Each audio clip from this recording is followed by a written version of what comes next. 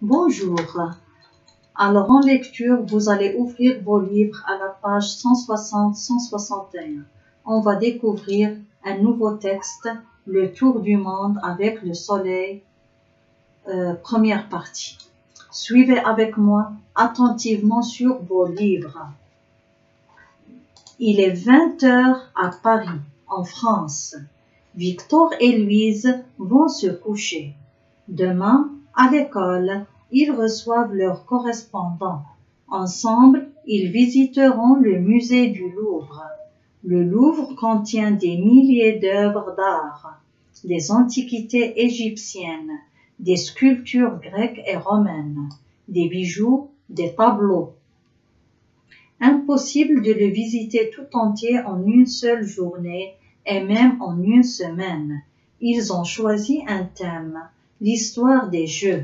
Avec une animatrice du musée, ils découvriront que, que des jeux d'aujourd'hui étaient déjà pratiqués il y a bien longtemps en Égypte et au Proche-Orient. Les billes, les dés, les osselets, les jeux, les jeux de course-poursuite, comme le jeu de loi qu'ils connaissent bien. Au même moment, il est 19h à Fomchna au Maroc. Ali a fini d'installer le campement. Il, fait froid la nuit dans le désert du Sahara. Il va maintenant s'occuper de ses chameaux. Ali accompagne des touristes. Aujourd'hui, dans la vallée de la Dra, ils ont admiré des peintures rupestres vieilles de plusieurs milliers d'années. Il y a bien longtemps, ce désert très chaud et aride était une vallée verdoyante et fertile habitée par Alors, comme vous voyez sur cette page, il y a le texte est divisé euh, en grands titres, en sous-titres, en petits paragraphes ou bien petits textes et avec des images bien sûr. Le premier petit texte commence par l'indication de l'heure. Il est 20 heures à Paris en France. Alors, dans ce texte-là, on va découvrir ou bien on va faire le tour du monde et on va découvrir plusieurs pays avec leurs traditions, avec plein de choses.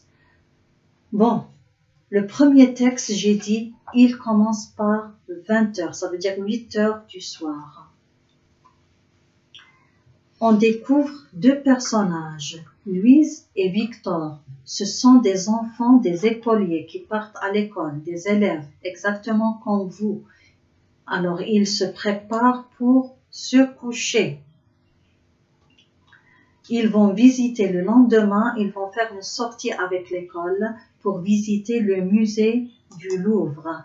Et je vous invite à faire une, recherche pour voir ce magnifique, ou bien pour découvrir sur Internet ce magnifique musée qui se trouve bien sûr en France.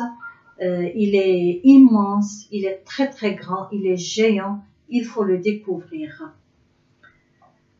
Alors, donc à 8 heures du soir, les deux enfants se préparent pour dormir. Au même moment, eh bien, c'est le sous-titre du deuxième texte. Ça veut dire quand c'est 8 heures à Paris, il est 19 heures au Maroc. Alors, c'est une région du Maroc, à Fomchina, qui se trouve au sud du Maroc. Ça veut dire au Sahara.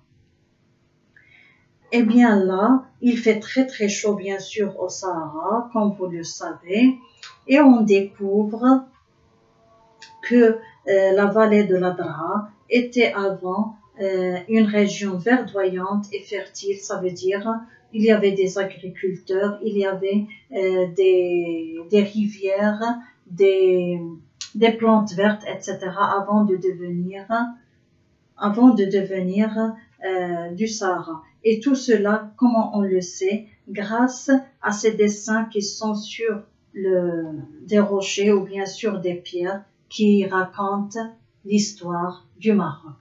Alors, euh, ceci pour cette page. Euh, dans la vidéo suivante, je vais vous expliquer et vous lire la page 161.